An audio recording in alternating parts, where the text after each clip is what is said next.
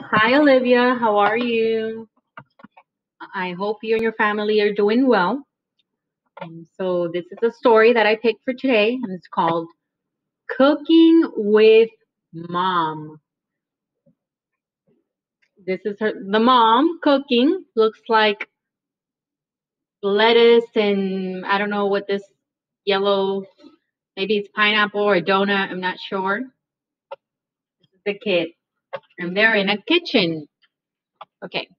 Cooking with Mom, written by Carrie Zakan. Cooking with my mom is fun.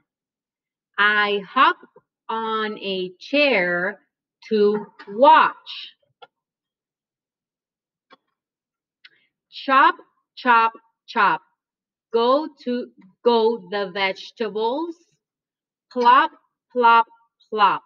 As they go into the bowl. So that's vegetables the mom is cooking. Look at the carrots here. And what is this? Maybe it's an onion. Here the mom is with a knife cutting it. Go wash your hands, said mom. It's time for dinner.